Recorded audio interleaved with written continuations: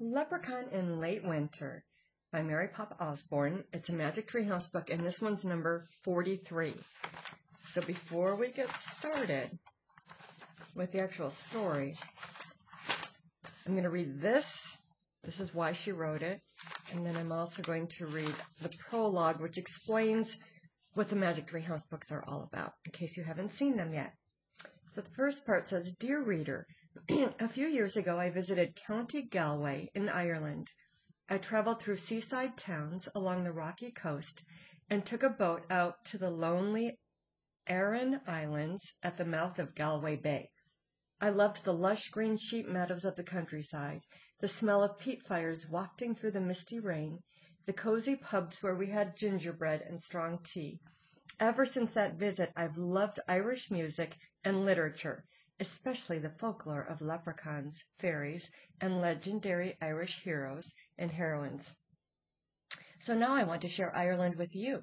Get ready for a journey to the enchanted countryside of Galway, to a time a hundred and fifty years ago, when mysterious creatures still hid in the forest and hills. Be careful not to let them see you, or you might be turned into a skunk or a weasel. But don't be afraid. Just have a great time with Jack and Annie. Signed Mary Pop Os- Pope Osborne. So I'm going to do the first two chapters and the prologue today. Prologue. This is what this this is what Jack and Annie are all about. One summer day in Frog Creek, Pennsylvania, a mysterious treehouse appeared in the woods. A brother and sister named Jack and Annie soon learned that the treehouse was magic. It could take them to any time and any place in history. They also learned that the treehouse belonged to Morgan Le Fay, a magical librarian from the legendary realm of Camelot. After Jack and Annie traveled on many adventures for Morgan, Merlin the magician began sending them on Merlin missions, missions in the treehouse. With help from two young sorcerers named Teddy and Kathleen, Jack and Annie traveled to places both mythical and real to do Merlin's bidding. On their most recent missions, Jack and Annie found four secrets of happiness to help Merlin when he was in trouble. Now Merlin wants Jack and Annie to bring happiness to others by helping four creative people get their give their special gifts to the world. They have already helped with the first two. Now they are ready to find the third. Chapter 1 A Beautiful Word. It was a chilly afternoon in late winter. Annie was doing her homework on the computer in the living room. Jack sat on the couch and stared at a blank page in his small notebook. He heaved a sigh. What's wrong? said Annie. I have to write a story for school, said Jack, and I'm stuck. Well, you'd better get unstuck, said Annie. Mom and Dad said we have to get our homework done before we go to the theater with them tonight. I know, said Jack, but I can't think of anything to write about. Why don't you go why don't you do what you love to do? said Annie. Go outside and write down some facts about what you see, then turn them into a story. Hey, that's a good idea, said Jack. Thanks. He jumped up and grabbed his coat from the hall closet. Then, taking his pencil and notebook with him, he headed outdoors. The early March weather was sunny, but cold and windy. Jack looked around. Then he wrote down some facts in his notebook. Old snow in yard. Sun sparkling on sidewalk. Jack looked up again. Treetops swayed in the March winds. Jack started to write about them, but when he looked down on his notebook, he nearly dropped his pencil. On the page were two large, fancy letters. T. K. Oh, man, whispered Jack. He dashed back into the house and into the living room. Annie, look! Jack held up his notebook. Look at this! Annie stared at the page. Old snow, sun sparkling, nice. No, not that, said Jack. The letters. Annie looked at Jack like he was a little crazy. Uh, what letters? she said. Jack looked back at the page. They're gone, he said. A big fancy T and K. T and K? said Annie. Yes, for Teddy and Kathleen, said Jack. The letters just appeared on the page when I was outside. They really were. Really. I believe you, said Annie. She jumped up from the computer. Let's go. Wait, I have to get my backpack from upstairs, said Jack. Forget it. Come on. The treehouse must be waiting for us, said Annie. Okay, okay, said Jack. He quickly shoved his notebook and pencil into a pocket of his coat. Annie grabbed her jacket. Mom, Dad, we're going to take a little break from our homework, she called. Okay, but make it short. We have to leave for the theater by seven, their dad called from the kitchen. We will, said Jack. Jack and Annie headed outside. They ran over the melting snow in their front yard and up the sun-sparkling sidewalk. They charged across the street and into the Frog Creek woods. They hurried between the wind-blown trees until they came to the tallest oak. High in the branches was the magic tree house. Their friends from Camelot, Teddy and Kathleen, were looking out the window. Hello, shouted Kathleen. Hi, shouted Annie, waving.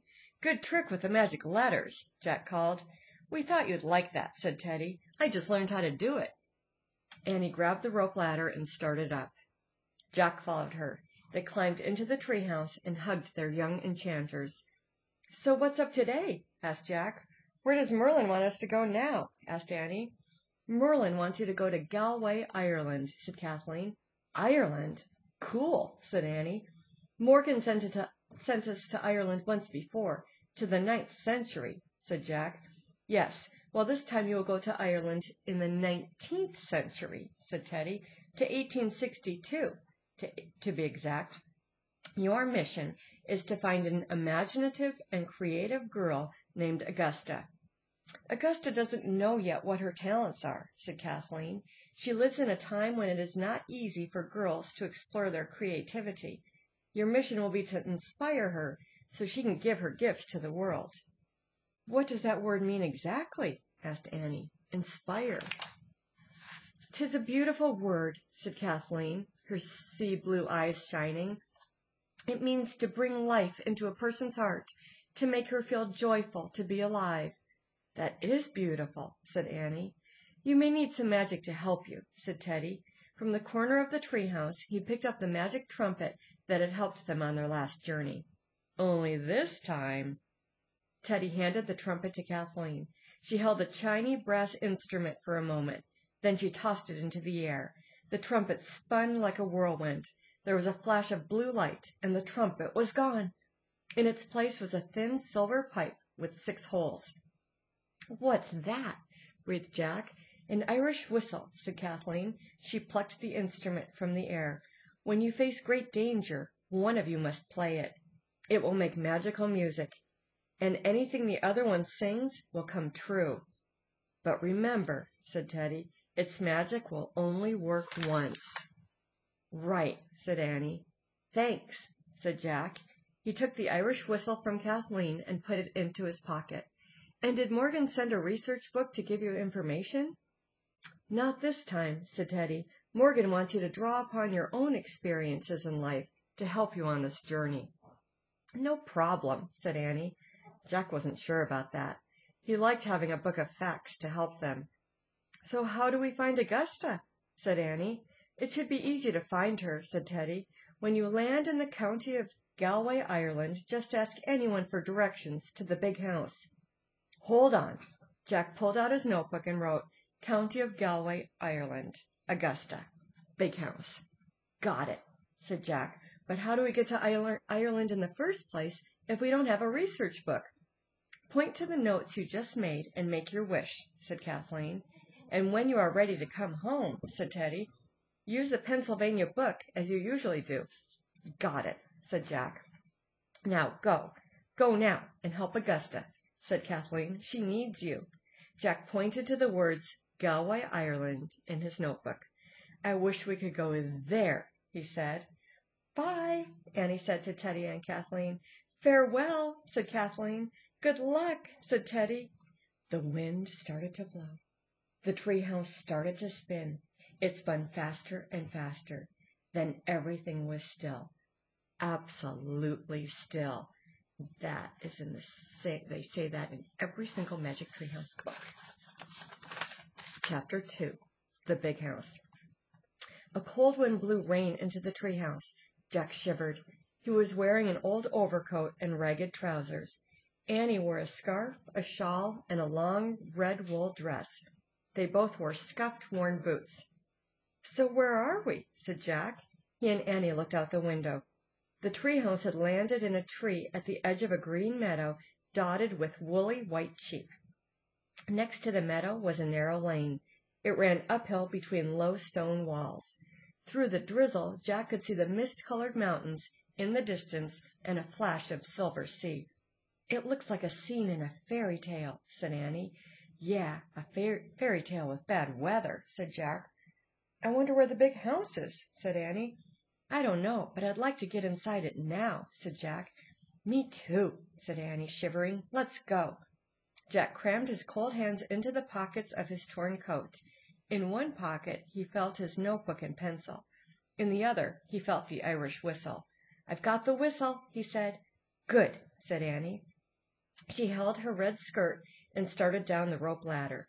Jack climbed down after her. Annie pulled her shawl tightly around her shoulders. Jack turned up the collar of his coat. As they tramped through the wet meadow, he felt cold water seeping through holes in his boots.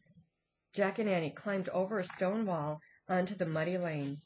A horse-drawn wagon was rattling toward them down the hill. The wagon was filled with squealing pigs. "Excuse me," Annie called to the driver. "Can you tell us where the big house is?" An old man with a tired, rugged face pointed back up the hill. "Thanks," said Jack. The large wooden wheels of the wagon rumbled past, splashing Jack and Annie with mud. "Yuck!" said Annie. "Now we're cold and wet and dirty," said Jack. "Yeah, we're going to look great when we get to the big house," said Annie. "So what do we do when we get there?" asked Jack.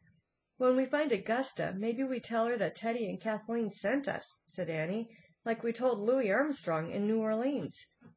Just thinking about their adventure with Louis Armstrong made Jack smile. "I don't know if that'll work," he said. His world seemed so different from this world. There it was so noisy and busy. Here it feels lonely. "Well, we won't know until we find Augusta," said Annie. "Let's go." Jack and Annie lowered their heads. They plodded up the lane, sloshing in and out of giant puddles. When they reached the top of the hill they stopped. The muddy lane wound down, past more sheep meadows and some cottages, past a long stable and several barns. At the end of the lane was a large open gate that led onto the grounds of a white mansion. Gray smoke rose from the mansion's chimneys. "The big house," said Annie. "Maybe the people who live there will invite us inside to get warm and dry by a fire," said Jack. Jack and Annie started down the lane. As they passed the sheep meadows Black and white dogs barked at them. When they walked by several boys hauling wet hay, the workers looked up and eyed them suspiciously. Jack was relieved to get to the gate and head toward the big house. When they reached the front door, Annie lifted the heavy knocker and let it drop. A moment later, later the door opened. A pale teenage girl looked out. "Who are you? Why are you here?" "Uh, well," started Jack. "Are you the ones the butler sent for?" the girl asked. "The butler?" said Jack. "Yes, we are," said Annie. "Then you should go around to the back," the girl said. Before Jack or Annie could ask for Augusta the girls slammed the door in their faces. "Nice," said Jack. "I hope she wasn't Augusta," said Annie. "Why did you tell her yes?" asked Jack. "It's a way to get in the big house," said Annie. "Come on." Jack and Annie tramped through the mud to the back of the mansion. They stopped at a door beneath a large smoking chimney. Annie knocked again. This time a young red-haired girl in a cap and apron opened the door. "Yes?" she said. "Is your name—" started Annie. "Who is it, Molly?" someone called from inside. Molly. So, so she's not Augusta, thought Jack. "Who are you?" Molly asked them. "We're the ones the butler sent for," said Annie. "You?" said Molly. She looked doubtful. "Well, come in and see him, then." Jack and Annie stepped inside. "He's in the kitchen," said Molly. She started down the hall. Jack and Annie followed Molly to the doorway of a dimly lit kitchen. The kitchen smelled of fish and onions. Pots and pans hung from a long rack over a big wooden table. A stout older woman was bent over the table, rolling out dough. "Cook, here are the ones the butler sent for," said Molly. The cook looked up from her dough and squinted at Jack and Annie. "You're the ones he sent for?" she said. "Uh, yes, ma'am, that's us," said Annie. The cook turned toward the fireplace. Next to the fire an ancient looking man with white whiskers sat slumped in a chair, snoring. "Mr. O'Leary!" The old man jerked and opened his eyes. "The ones you sent for are here," the cook shouted, as if the man were hard of hearing. The groggy butler peered at Jack and Annie. "I sent for you?" he growled. "Not possible. I sent for a coach driver and a blacksmith." "Really?" said Annie. "I guess there was a mistake. But maybe there are some other jobs we could do around here." "Well, what are you good for?" asked the butler. "What do you mean?" said Jack. "Do you know how to sweep the inside of a chimney?" said the old man. "Um, no," said Jack. "Pluck a chicken?" the cook asked. "No way," said Annie. "What about rats?" the butler said. "What about them?" asked Jack. "They're all over the cellar," said the cook. "Can you catch 'em?" "I don't think so," said Jack. "Then you're no good to us here," snorted the butler. "Be on your way." At that moment Jack heard the back door open and shut.